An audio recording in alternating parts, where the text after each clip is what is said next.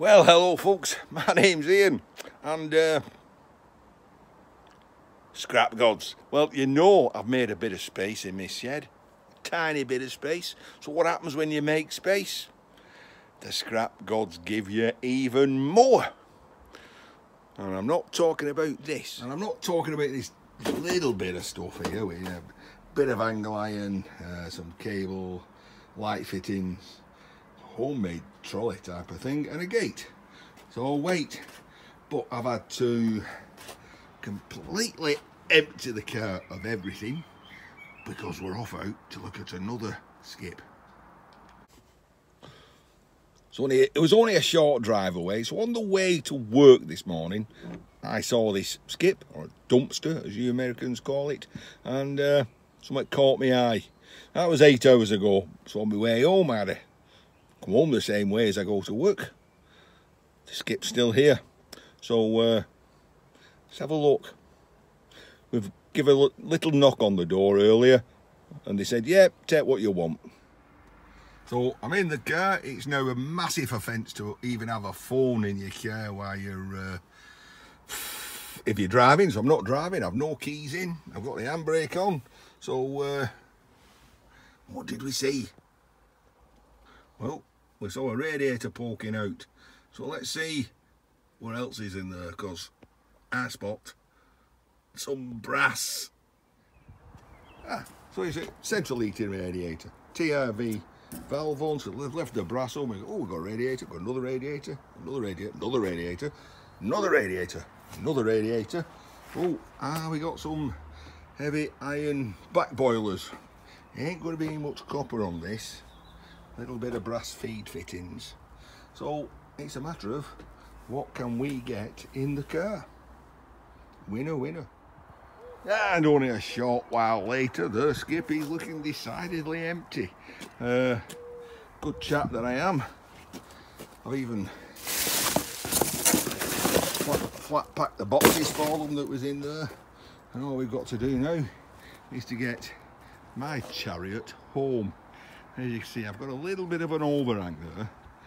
Unfortunately, I don't have to drive very far. What a terrible, terrible point of uh, news is uh, a broken nail there. Look at that. That is going to cause me some grief. Well, we made it back home. Uh, couldn't drive all that way with the uh, the the hatch up, so I kind of jury rigged using cable off my uh, air compressor charger. So, it's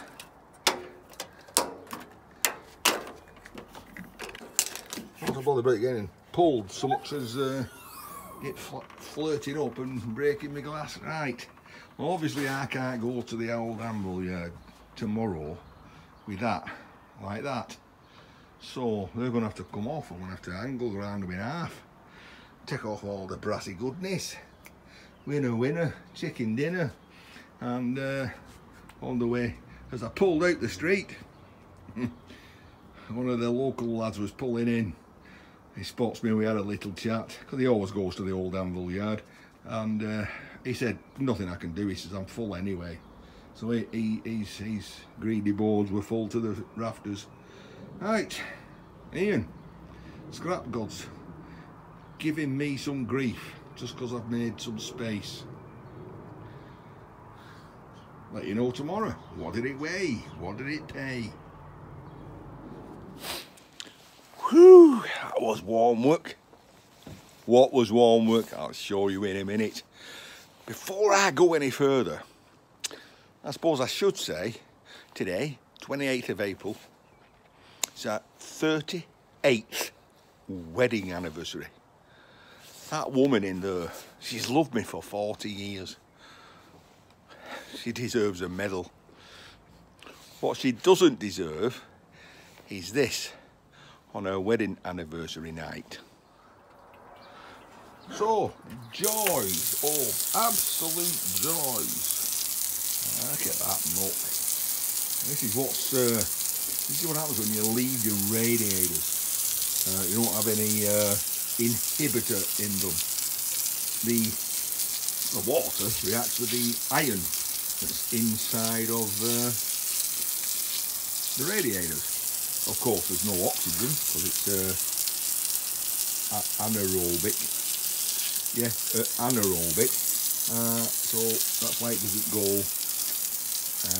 red, rusty. Get this black iron oxide sludge. And some, I mean, I mean this is sludge. Uh, and this is what decreases the the efficiency of your radiators. You know, these have obviously been on a long, long time. Uh, and this is the main problem when it rusts through and get the pinholes. It's, not that the water leaks out, it's this black iron oxide that leaks out. And this stains everything. You get it on your carpet, it's not coming off. Uh,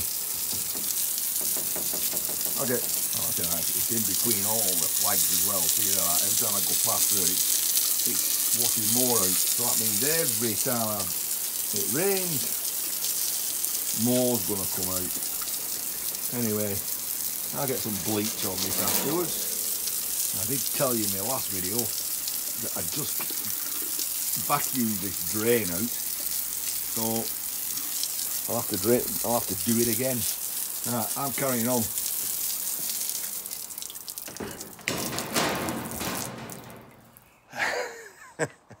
I've not gone in yet. I don't think she's seen any of that. Uh, she'll never know.